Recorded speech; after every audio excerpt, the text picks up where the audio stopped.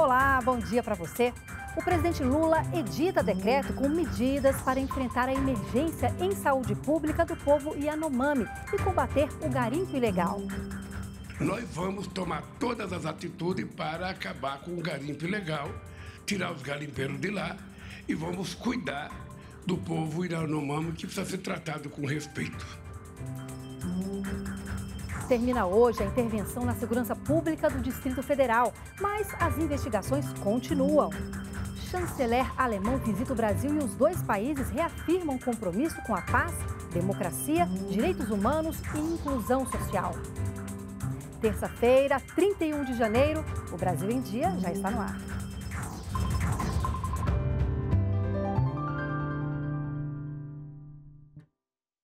São 8 horas da manhã, estamos ao vivo também pelas redes sociais. Em resposta à crise humanitária que afeta a população Yanomami em Roraima, foi publicado hoje um decreto do presidente Lula com medidas para enfrentar a emergência em saúde pública e combater o garimpo ilegal na região. Ministros estão autorizados a usar recursos para garantir o transporte de equipes de segurança, saúde e assistência, além de alimentos e vestuário e ações para o abastecimento de água potável, como construção de cisternas e perfuração de poços artesianos. A Força Nacional de Segurança poderá dar apoio às equipes de saúde. A aeronáutica vai criar uma zona de defesa para controlar o tráfego aéreo. A Polícia Federal e o IBAMA estão autorizados a interditar aeronaves e equipamentos usados nas atividades ilícitas. Já o Ministério da Defesa vai fornecer dados de inteligência e transporte para as equipes de segurança. O acesso de pessoas ao território Yanomami será controlado para evitar o risco de doenças. O presidente Lula falou ontem sobre o decreto. Assinei um decreto dando poderes sabe, ao, ao, às Forças Armadas, ao Ministro da Defesa, ao Ministério da Saúde, nós vamos tomar todas as atitudes para acabar com o garimpo ilegal, tirar os garimpeiros de lá e vamos cuidar do povo iranomamo que precisa ser tratado com respeito. Ou seja, não é possível que alguém veja aquelas imagens que se viu e que eu tive a oportunidade de ver sábado passado e ficar quieto. Não é possível. Na verdade, nós tivemos um governo que poderia ser tratado como um governo genocida, porque ele é um dos culpados por aquilo acontecer. E além de equipes de saúde, já atua na região Yanomami uma comitiva do Ministério dos Direitos Humanos e da Cidadania. Algumas das denúncias estão ligadas à insegurança dos líderes indígenas, medidas urgentes de saúde e violações de direitos humanos contra crianças e adolescentes. Há dez dias, o governo federal decretava estado de emergência para socorrer o povo Yanomami de Roraima. De 2019 a 2022, foram registradas 570 mortes de criança desta etnia. Mas os dados podem estar subnotificados e os números podem ser maiores. A prioridade, certamente, é garantir a proteção da infância diante da malária, da desnutrição que geraram essas mortes nesses últimos anos. Nós temos uma dificuldade muito grande no que diz respeito a, a transporte, porque os carros que os conselhos tutelares usam em todos os municípios, a maioria são carros que não são tracionados e tem uma dificuldade muito grande. O crescimento do garimpo tem afetado diretamente a saúde dos indígenas. Em 2022, foram registrados 5 mil hectares de garimpo dentro da terra Yanomami, um aumento de 300% em relação a 2018. A garantia da proteção de indígenas ameaçados por garimpeiros é outra preocupação da comitiva. Para a secretária executiva do Ministério dos Direitos Humanos e Cidadania, houve descaso do governo federal nos últimos anos. Há elementos fortes de que houve uma deliberada omissão em relação a políticas públicas, né? Nós precisamos entender essas responsabilidades e encaminhar o tratamento delas devidamente. O presidente Lula recebeu o chanceler alemão Olaf Scholz. A Alemanha é o quarto maior exportador de produtos para o Brasil. No ano passado, o comércio entre os dois países superou 19 bilhões de dólares. A guerra na Ucrânia e o acordo de livre comércio Mercosul-União Europeia também foram tratados no encontro. O presidente Luiz Inácio Lula da Silva recebeu o chanceler alemão na rampa do Palácio do Planalto na tarde de segunda-feira. Em seguida, os dois chefes de governo se reuniram e trataram de temas como meio ambiente, democracia e acordo entre o Mercosul, formado por Brasil, Argentina, Uruguai, Paraguai e a União Europeia.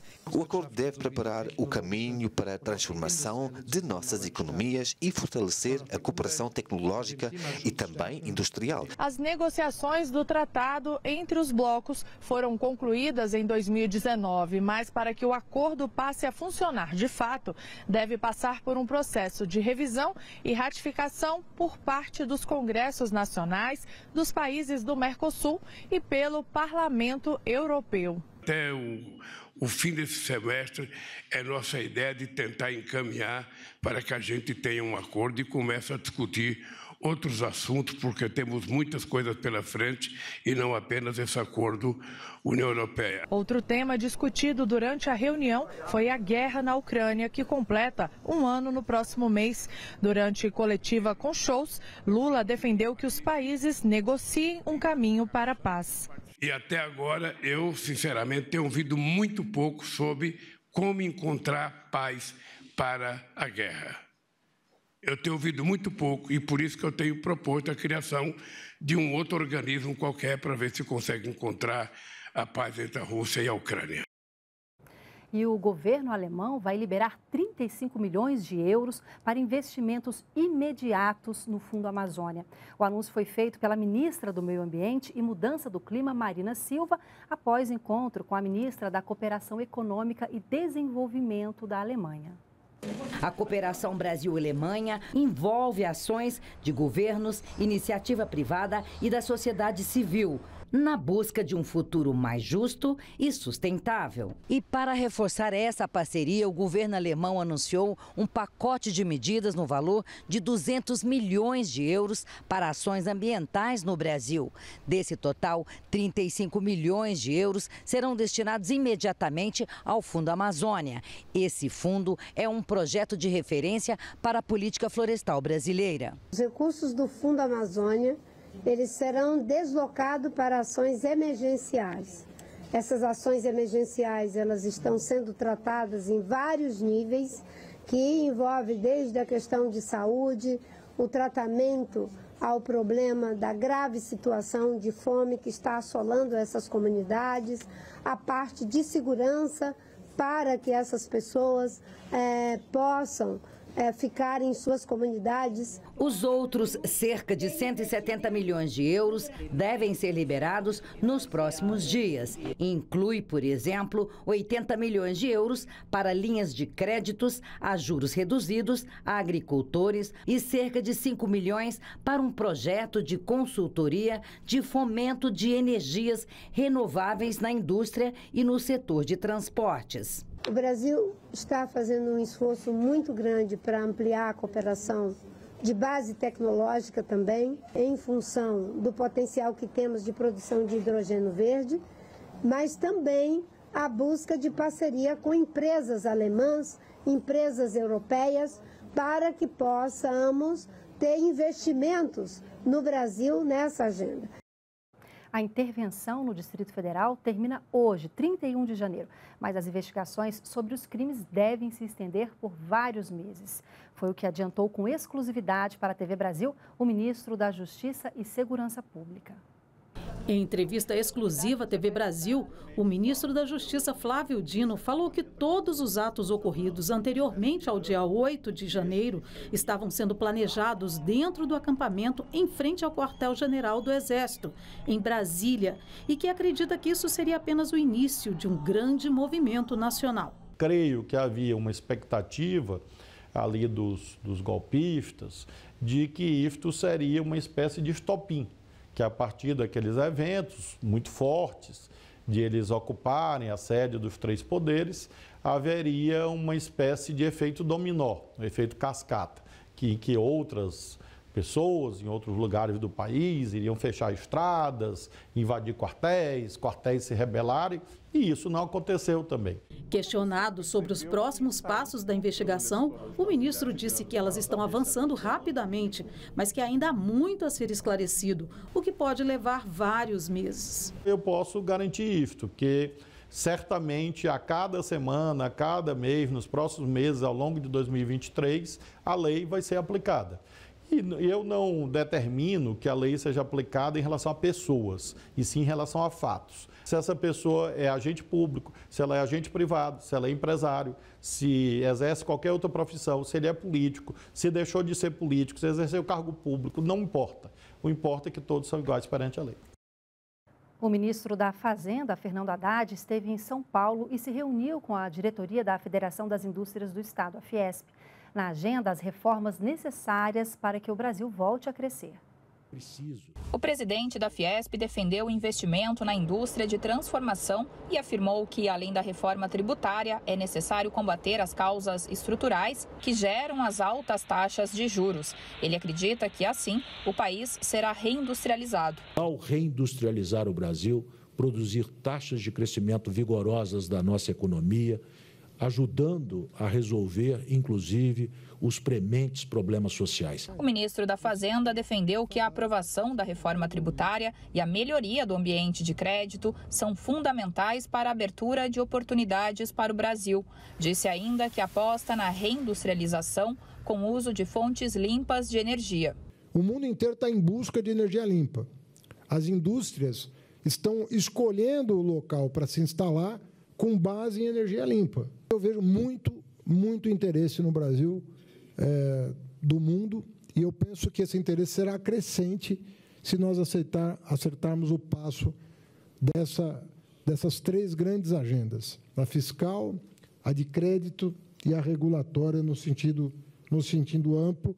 Fernando Haddad reafirmou que o governo vai realizar um conjunto de reformas em ritmo acelerado e que o crescimento econômico do país passa por investimentos em saúde e educação. A ciência brasileira foi muito sacrificada no último período.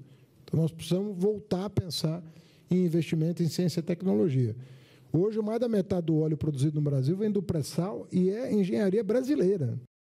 Representantes de PROCONs estaduais se reuniram em Brasília para alinhar procedimentos. A orientação é apoiar os brasileiros superendividados. Governo novo, diretrizes novas e a Secretaria Nacional de Defesa do Consumidor quer direcionar o trabalho na proteção da cidadania e no resgate da dignidade de cada brasileiro. Daí a necessidade de atuar no combate ao superendividamento da população, com soluções viáveis para o devedor e para o fornecedor. Abrir o debate no nosso âmbito, né, no âmbito do consumidor, com as entidades de consumidores, com os PROCONs, né, com o setor econômico, com os bancos, né, uma política de consumo consciente, sustentável, não predatório, né, responsável que não leve à ruína das pessoas. A Secretaria de Defesa do Consumidor também quer investigar as causas do aumento dos combustíveis na virada do ano. O secretário Adidamus não vê razão para a remarcação nas bombas e quer saber se os postos de gasolina agiram de má fé ou se ocorreu uma ação política. Um processo administrativo já foi aberto pelo Ministério da Justiça e Segurança Pública. É um aumento de preços abusivo, é um aumento de preços ilegal, nós queremos é, é, levantar isso. Né? Esse aumento de preços da virada do ano continua sendo um episódio nacional ou tornou-se um episódio localizado? E a gente fica por aqui. Uma ótima terça-feira para você e até amanhã. Tchau.